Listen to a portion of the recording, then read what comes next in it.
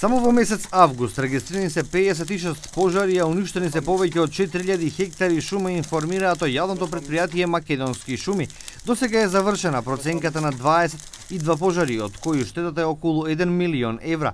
Првичните анализи покажуваат дека дел од пожарите се подметнати, а дел предизвикани од невнимание. Сепак во сите случаи, причинител е човечкиот фактор. Опожарената дрвена маса е повеќе од 7000 кубни метри, а пак штетата изнесува 72 милиони евра. Директорот на јавното предпријатие Македонски шуми, Зоран Ѓоргиев, вели дека до крајот на месецот ќе се знае вкупната штета.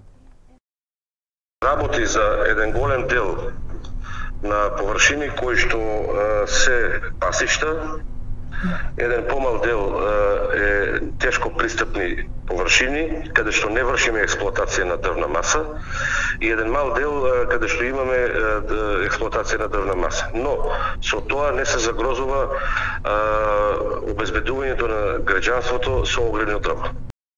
МВР поднесе кривични пријави за пет лица кои се осомничени дека сториле кривично дело предизвикување на шумски пожар. Две лица се од македонски брод, односно од селото Могилец, кои се осомничени дека го предизвикале пожарот кој беснееше неколку дена во овој регион и кој уништи голема површина на шума.